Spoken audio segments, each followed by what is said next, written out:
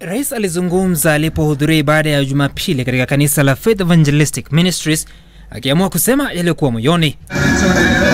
Wiki moja iliyopita majengo matatu yamebomolewa kwa kujengwa kwenye kingo za mito, kipindi ambacho rais anasema amepoteza marafiki. been receiving so many calls that you know how can you just sit there and watch all this destruction going on and i said uh, it's difficult to stop not because we love to destroy but because we must fight impunity. Jengo la kwanza kubomolewa lilikuwa kituo cha petroli na duka la Java eneo la Kileleshwa, kisha kituo cha biashara cha South End katika barabara ya Lang'ata. Kituo cha biashara cha UK mtaani Westlands kilifuata licha wamiliki wake kudai walikuwa wamepata idhini ya taasisi za serikali kujenga, rais akisema na bado.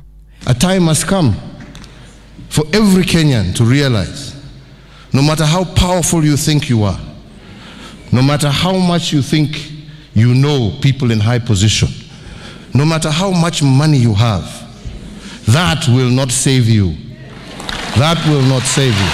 Kauli ya rais ikionekana kutoa taswira mpya ya uongozi wake muhula huu wa pili, ambapo tangu mapema mwaka huu amezidisha vita dhidi ya ufisadi, huku washukiwa mashuhuri wakikamatwa na kufikishwa mahakamani, matukio ambayo yalikuwa nadra katika muhula wake wa kwanza. Let us lose friends. We will gain others as we move forward. Let us lose friends and do that which is right in the eyes of God.